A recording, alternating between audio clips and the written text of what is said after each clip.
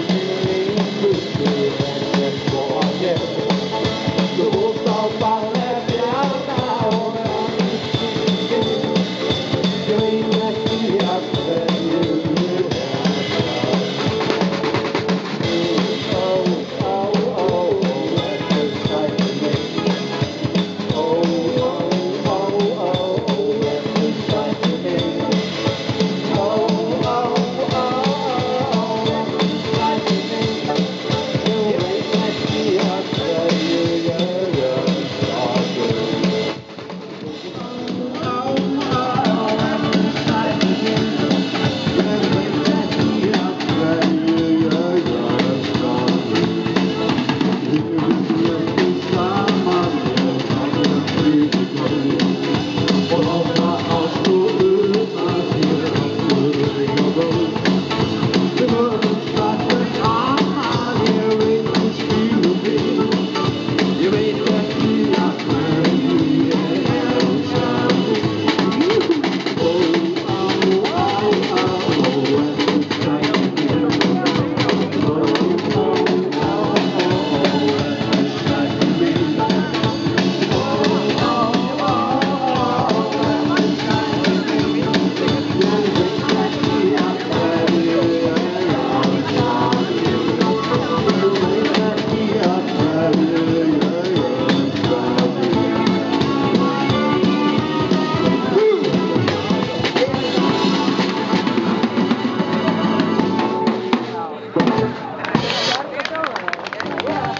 Löjma korsa och kalpa